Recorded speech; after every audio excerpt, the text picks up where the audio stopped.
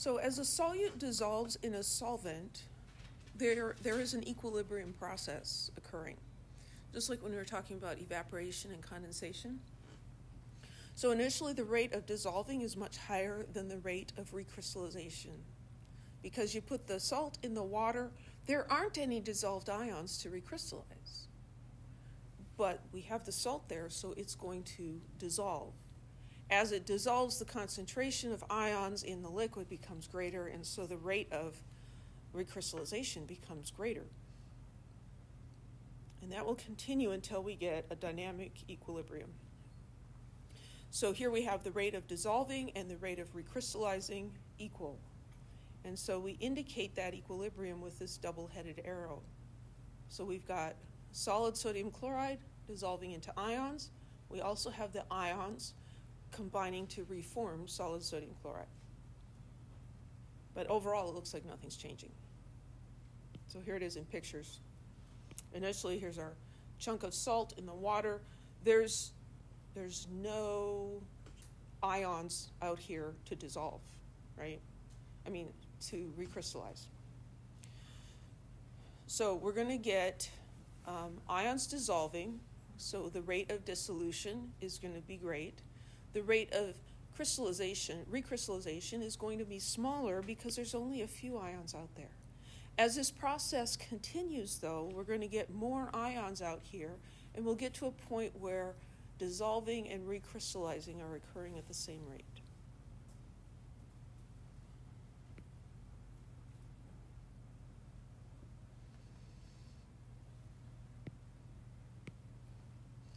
So, a saturated solution is one where we have the solute in dynamic equilibrium with the solid solute. So you've got enough solute in there that there's a little, at least a little bit of the solid still present. And so we've got dissolving and recrystallization occurring. We have a dynamic equilibrium. It's a saturated solution. In an unsaturated solution, that means that we have less than the equilibrium amount of the solute if we put more table salt into that solution, it will dissolve because the solution isn't full yet. So saturated is full, like a sponge that's saturated with water, right? It can't absorb any more. So unsaturated means it can absorb some more. In an unsaturated solution, everything has dissolved and we don't really have any recrystallization occurring. It's not in dynamic equilibrium. We can also have a supersaturated solution, which contains more than the equilibrium amount of solute and sort of seems by definition to be impossible, right? How can you have more than the, the amount that's allowed? How does that work? Well, we'll talk about that in a minute. So, supersaturated solutions are unstable. So, this is um, a picture of a, a supersaturated solution. It's sitting there and it's got more salt dissolved in it than should be dissolved in it at this temperature. And if we disturb it, just even by touching it with a stir rod, it will precipitate out. So recrystallization will happen very quickly. So we've got a couple of videos here.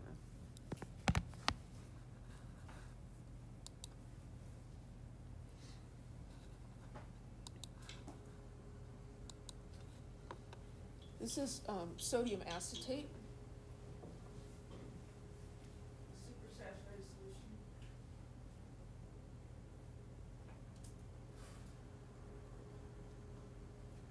Stuck a, a spatula in there and it starts recrystallizing. Isn't that neat?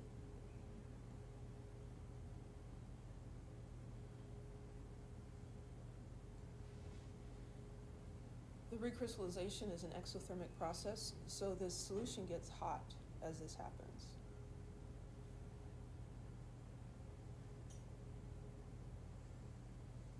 It looks like it's freezing, doesn't it?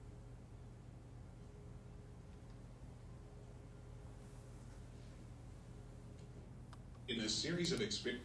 I don't know why it just has to automatically play the next one. I don't, I don't want to hear about Millikan's oil experiment right now.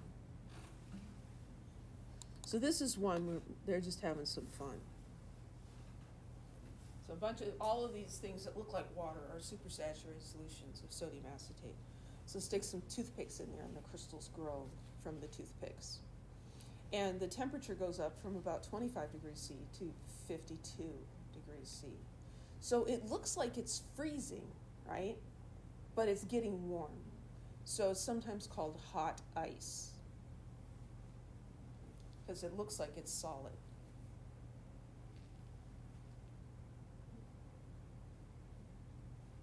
It's kind of kind of like soft snow or something.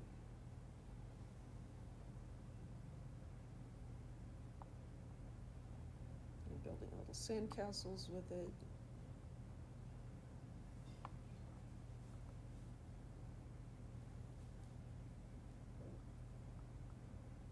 If you remind me, I think I can make this for you during lab. But you have to remind me because I'm going to forget like I did last time.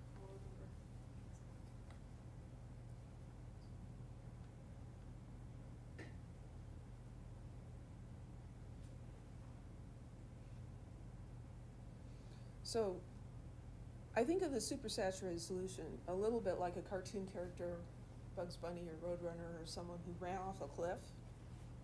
And unlike real people who the first step off the cliff you would fall, right? They run out into space and they don't fall until they notice that they're not on the ground anymore, right? So you can think of this um, supersaturated solution as being a little bit like that cartoon character that should not be up in the air, right? It's not possible.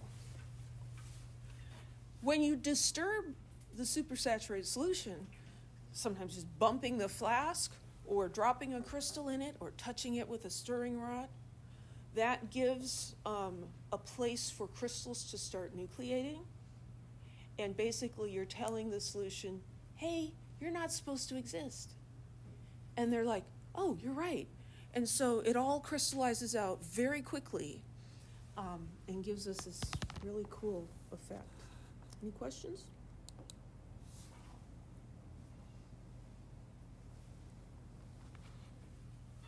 So the reason you can form supersaturated solutions is that the solubility of most solids will increase with increasing temperature. So this graph is looking at the solubility measured in the grams of solute that can be dissolved in 100 grams of water. So here's sodium chloride. Um, at room temperature, you can dissolve about 35 grams of sodium chloride in 100 grams of water. If you heat the water up, that goes up a little bit. The temperature dependence of solubility for sodium chloride is not very great. If you look at like lead nitrate or potassium nitrate, you know, down at zero, the solubility is less than 15, as you heat it up, the solubility increases tremendously. So, the way you make a supersaturated solution is you make a saturated solution at an elevated temperature, right? And then you let it cool down slowly without providing any nucleation sites, without telling it what's happening, right? It's like you just let the cartoon character believe that they're still running on land, even though everyone knows they're not. But if it's, it goes down, the temperature decreases slowly without being alerted to that fact, it'll stay in solution. But then you bump it, you disturb it, give it a place to start crystallizing, and it'll all come back out, right? So if you dissolved, um, you know, maybe got the temperature up to 55 degrees and dissolved 100 grams of potassium nitrate in 100 grams of water that's like equal amounts of water and solute. That's a lot, right? So you can get it to dissolve, but then back at room temperature, right, only about 35 grams of it would be soluble. So what's going to happen? Well, the remaining 65 grams that aren't supposed to be soluble anymore will become insoluble and they will precipitate. There are some compounds that as you heat them out, they become less soluble. So that's kind of different. Any questions?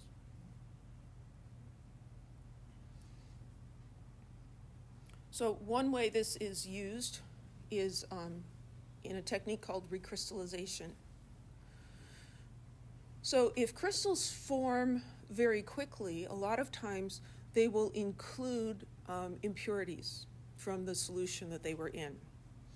So, to recrystallize, you take those crystals that were formed and you heat the solution up.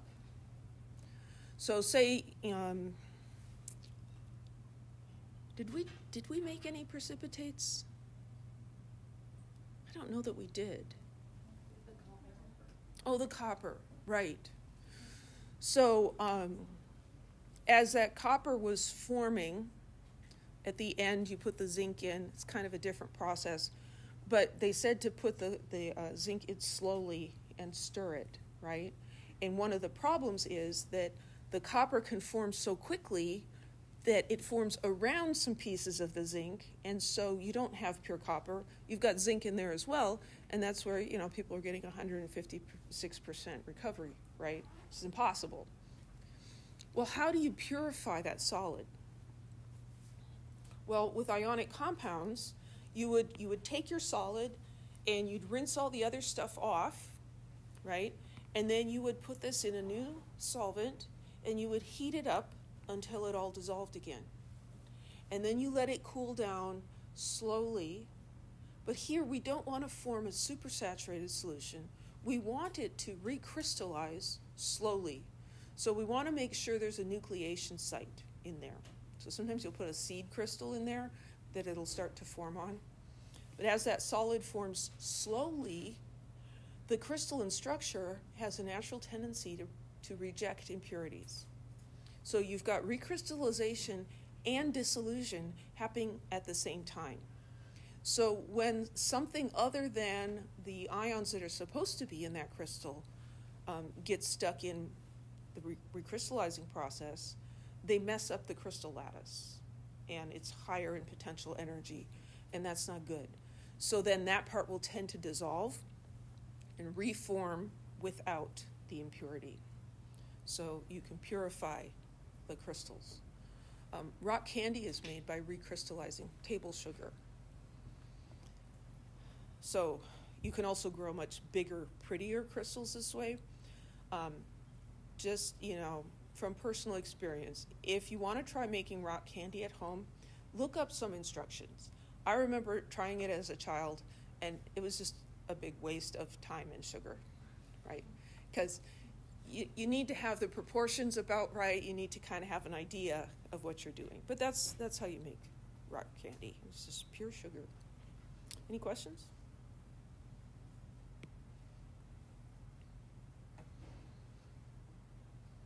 Temperature affects uh, the solubility of gases in liquids in the opposite way. Instead of solubility increasing as you heat them, solubility decreases as you heat them. So you may have observed that warm soda goes flat faster than cold soda. Here they're pouring soda from um, a bottle into a, a glass. This one was cold and this one's warm. You're going to get a lot more fizzing from the warm soda because the carbon dioxide is less soluble in the warm liquid and so it's going to come out faster. So there's kind of a tip if you, you know, if you're making like root beer floats or something, you definitely want to chill the root beer first. This also has an effect um, in lakes and rivers. Um, if the temperature of the water becomes warmer than it normally is, the amount of oxygen dissolved in the water goes down. So, you know, global warming um, eventually will have a big effect on this. Right now, the biggest um, problem is uh, thermal pollution. So, you may have a factory that's discharging water into a river, and it may be perfectly clean water, but it's hot water, right? So, what does that do? That causes that part of the river to be warmer than normal. And so the oxygen levels are lower, and so plants and animals, aquatic life, can't live in that part of the river because the water's too warm. If you've ever kept fish, you know that you have to be careful with the temperature, right? Goldfish don't want a heater in their water, right? Any questions? Another thing that affects the solubility of a gas is the pressure of that gas above the liquid. So here we have a soda can, and up here is pressurized CO2, and here we have the soda, and the CO2 is dissolved in the solution. When you pop that top and it goes, psst, right, that's the release of the CO2 pressure. With the lowered pressure here, the carbon dioxide is going to start coming out of solution. If you do this with a um, like a two liter bottle, especially with a clear soda, you, know, you, you open the top, and what happens? Immediately you see bubbles coming up. Like, what? I didn't shake it or anything. No, you release the pressure, and so the solubility is less, and so it's going to start coming out.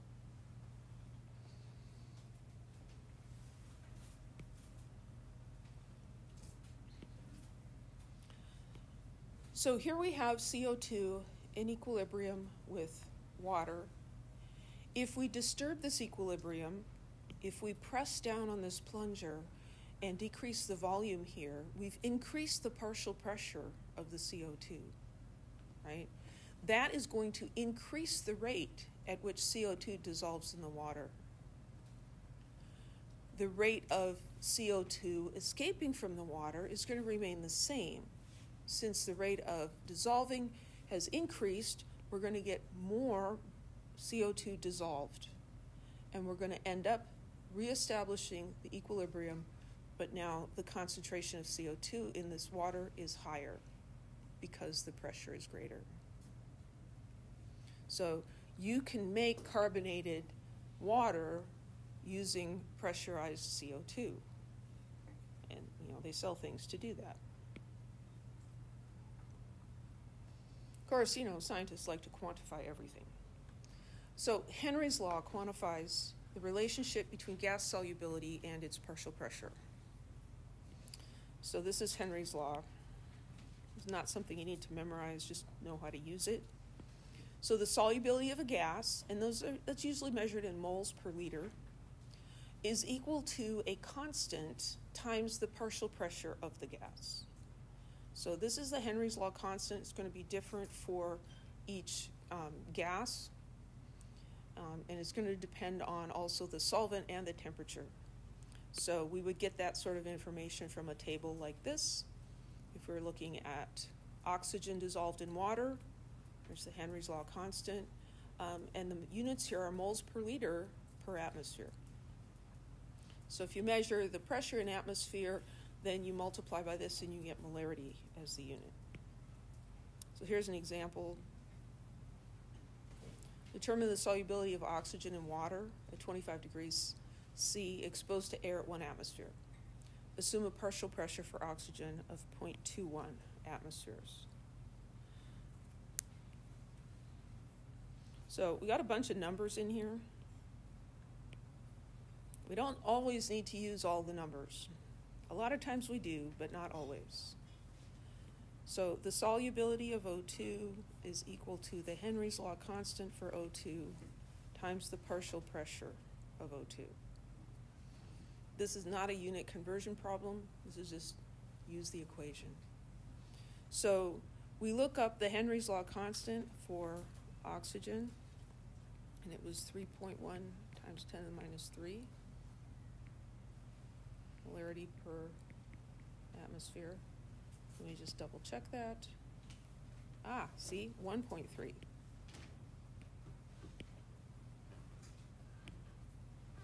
Glad I checked. Short term memory. Okay, and uh, the partial pressure of the oxygen was given. So we're just going to take those and multiply.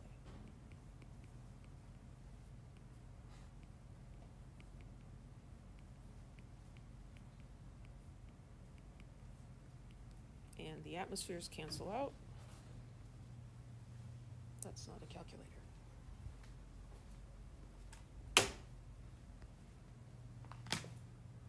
Just ignore that.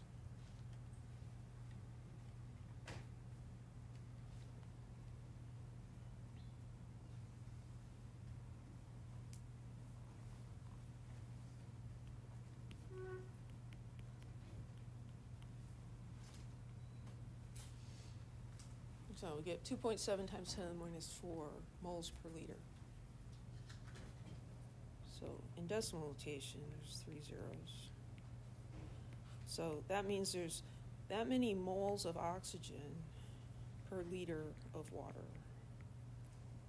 Not very much. Any questions?